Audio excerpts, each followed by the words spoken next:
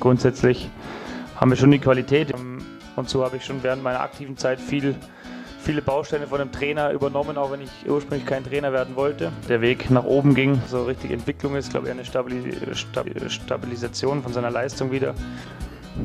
Nee, Einfluss auf die taktische Herangehensweise hat immer der Gegner. So ist es ja nicht, sondern ihr müsst auch euer Geld verdienen. Ich bin euch jetzt nicht böse, dass mal was Negatives irgendwo stand. Der, der Videoanalyst, der äh, kann sich dann eigentlich trennen von seiner Freundin und die Wohnung kündigen, der kann hier schlafen. Und ich äh, ja, muss schon ab und zu heim, ähm, aber werde auch viel hier übernachten müssen. Also das 32 Spiele bis zur Winterpause ist natürlich schon ein Brett. Na, bewusst war es mir nicht, aber die Wahrscheinlichkeit ist ja sehr hoch, wenn man Hoffenheim-Trainer ist, dass das der Fall ist. Ähm, Im Normalfall macht er das Zeichen und dann weißt du, jetzt musst du dir eine Treppe suchen, unabhängig davon, was wie passiert. Wenn Frankfurt jetzt 18-0 gewinnt und wir müssen in die Euroleague-Quali, äh, wird man trotzdem ersten siebten starten, falls das die Nachfrage ist. Schade. Bitte. Sollte man Platz 3 reichen, setze ich mir vielleicht eine kleine Krone auf zu Hause im Wohnzimmer und freue mich. Chapeau. Chapeau, Chapeau für deine Arbeit, würde ich sagen. Gibt es ein Lied, das geht ein bisschen anders, aber das, äh, ich habe es kurz umgedichtet. Also für deine Arbeit war jetzt auf den Nico bezogen. Nicht, dass sie jetzt morgen äh, Nagelsmann lobt die Bildzeitung. Ja.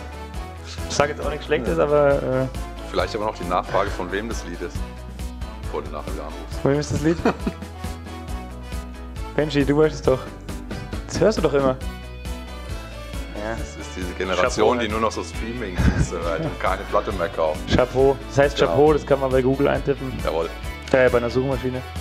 Das ist aber eher ähm, um den Scouts hier, dass wir nicht wie äh, Wolfsburg einer aus dem Gebüsch ziehen müssen. Oh, das letzte Spiel in Stuttgart war ja nicht so erfolgreich für die TSG. Spielt so, eine, so ein Ergebnis auch jetzt eine Rolle? Warum, lachen, warum lachen Sie da? Ich lache. ist doch nicht lustig. Das war ziemlich hart. Ähm, spielt sowas überhaupt noch? Weil ich auch gerne Musik höre, ich bisschen Musik angemacht im Stadion. Rock, äh, Rap, Soul und RB. Durch Heavy Metal war nicht dabei. 80er, 90er Reggae und das Beste von heute. Genau. Ja, geht immer von Fixterminen aus innerhalb eines Jahres, von Spielen, dann von Länderspielpausen und so weiter und so fort. Und dann haben wir, was ich schon oft gesagt habe, diesen bekannten Wochenschwerpunkt, den ich dann auf die Fixtermine und auf die jeweiligen Gegner auslege, die sie dann immer wiederholen und versuche auf diese körperliche Periodisierung, die taktische Periodisierung zu legen. Also in körperlichen Hochbelastungsphasen für den Körper sind taktische Inhalte eher sehr gering und wir machen eher äh, wenig theoretischen Inhalt oder zumindest einfach zu verstehen theoretischen Inhalte in den Phasen von körperlicher Ruhe oder Regeneration oder nicht so hoher Belastung. Ist dafür die taktische, ähm, taktisch, taktische Training deutlich mehr. Und so versuche ich mal eine Periodisierung für den Kopf hinzukriegen. Ähm, immer ausgehend von Fixterminen, die es einfach gibt, die Termine, die man den Kalender einträgt. Und ähm, ja, den Schwerpunkt, wie wir immer trainieren, runtergebrochen auf markante Gegner. Ähm, ich weiß natürlich nicht immer vorher, so, wie welche Gegner spielen, aber es gibt ein paar markante wie RB, wie Bayern, die immer gleich oder sehr ähnlich spielen von der Philosophie und da versuche ich auch den Wochenschwerpunkt schon dementsprechend auf diesen Schwerpunkt des Gegners anzupassen und alle anderen umzulegen, sodass wir den Fixtermin passt. Wir werden in der Länderspielpause mal keine Hochbelastungswoche haben und so weiter und so fort. Und dementsprechend auch die taktische Periodisierung. Das ist sau kompliziert mit vielen Farben. Das war jetzt ein Satz, nicht zwei, drei. Ohne Punkt und Komma habe ich auch in der Schule immer geschimpft gekriegt, dass ich nie Satzzeichen mache, weil ich so lang schreibe. Aber ähm, ja, vielleicht verstehen Sie es ja ein bisschen. äh, mit zwölf Metern und dann Feldspieler im Tor. Ein äh, sehr lauter Schrei vom Co-Trainer Nagelsmann, verbundener Tinnitus beim Assistenten. Ich glaube, man kann jetzt nicht fix als Hoffenheim planen, dass wir mit zwei Toren Unterschied gewinnen gegen Dortmund. Eigentlich bin ich ganz locker, ich hoffe, ich komme so rüber. Keine Schauspielerei, so bin ich echt. Zwinker, zwinker, Smiley. Als ich den Gegner angeguckt habe,